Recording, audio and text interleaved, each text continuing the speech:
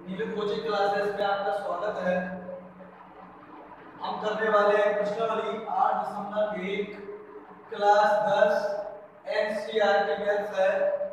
Question number दो हम करवा रहे हैं। इससे पहले के वाले पार्ट वन में हमने पहले वीडियो में पहला क्वेश्चन सोल्व करवा चुके हैं आठ दशमलव एक का। तो इसको सोल्व किस प्रकार करते हैं? आकृति में या आकृति हमें पहले से दी हुई है तो इसमें हमें tan P minus four R का मान ज्ञात करना है।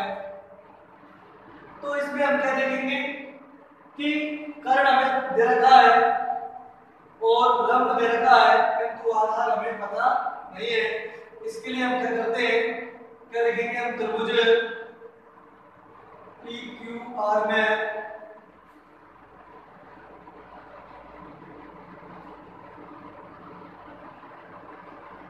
त्रिभुज पी क्यू आर में पीजीपी से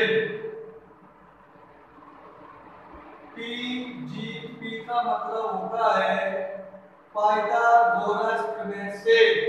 पाइथागोरस प्रमेय कहती है, एक समकोण त्रिभुज में कर्ण का वर्ग अन्य दो भुजाओं के वर्गों के योगफल के बराबर होता है।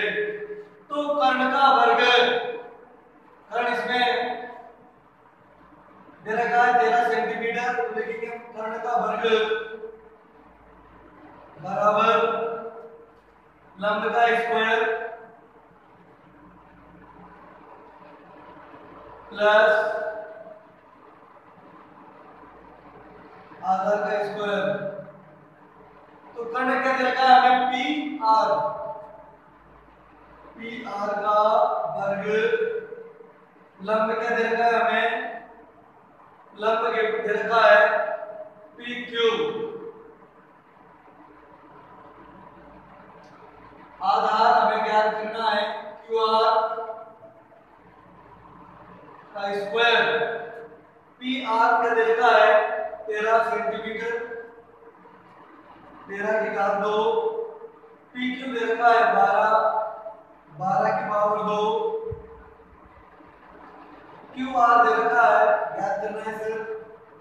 ज्ञात करना है। ज्ञात करना है।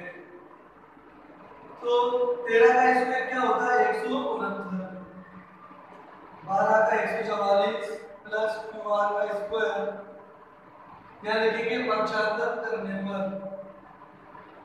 पक्षांतर करने पर। एक सौ चौवालीस को ले जाएँगे एक सौ उनहत्तर के पास में प्लस का काय हो जाएगा माइनस तो हो जाएगा। बराबर में क्यू आर की पावर दो क्यू आर की पावर दो, बराबर। एक सौ उनहत्तर में से एक चौवालीस कम करेंगे, क्या आएगा? पच्चीस। यहाँ वर्ग हटाकर करने लगाएँगे, इस पे क्यू आर का वर्ग। बराबर अंडर रूट पच्चीस। पच्चीस का रूट क्या निकल के आता है? आया है सेंटीमीटर इसकी जगह हम रख सकते हैं पाँच। तो निकल के आया हमारा हमें क्या ज्ञात करना है? टेन पी माइनस हमने अगले वीडियो में आपको बताया था सामने वाला पी है टेन पी तो थीटा क्या है पी पी के सामने वाली भुजा को लंब रहेगी आर के सामने वाली भुजा लंब रहेगी है। ना, किंतु ये कर्ण होता है, ये कभी अपने स्थान से हिलता नहीं है। अपनी जगह पर रहता है तो हमें सबसे पहले टेन पी का मान ज्ञात करना है। टेन पी और लाल बटे का काम मैंने बताया था, अभी आपको टेन पी मतलब टेन थीटा बराबर होता है, लंब बटे आधार। लंब बटे आधार। टेन पी बराबर का चिन्ह आएगा पी के सामने वाला क्या है? लंब। सामने वाला क्या है? लंब। तो ये लंब कितना है? पाँच।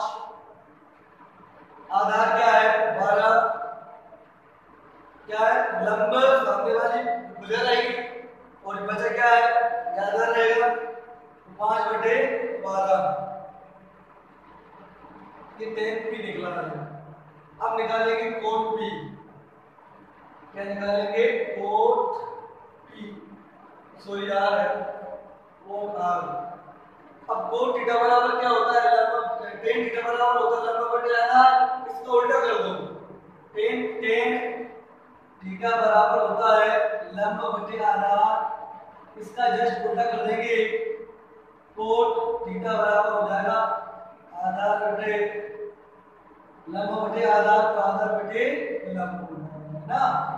तो आर क्या है? आर के सामने क्या है? लंब है। सामने वाली भुजा क्या है? लंब है। लंब है। जब ये लंब है तो ये क्या होगी? आधार। ये क्या होगी? आधार। और कोट थीटा बराबर क्या होता है? आधार बटे लंब होता है। कोट आर बराबर। जब इसके सामने वाली भुजा लंब है, ये लंब है तो ये क्या बच गया हमारे पास में आधार आधार कितना है पाँच और लंब क्या है बारह तो ये भी क्या निकल के आया पाँच बटे बारह हमें क्या ज्ञात करना है tan P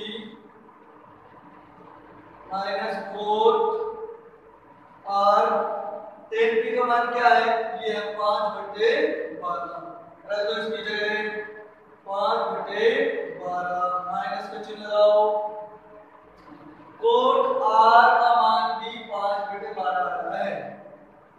पाँच बटे बारह प्लस माइनस की काट दो क्या निकल के आया हमारा आंसर ज़ीरो निकल के आया है क्या निकल के आया है आंसर ज़ीरो अगर आपको वीडियो अच्छी लगी है तो लाइक करें कमेंट करें शेयर करें और अपने दोस्तों को शेयर करें ताकि उन्हें भी अधिक से अधिक लाभ प्राप्त हो। थैंक यू फॉर वॉचिंग धन्यवाद।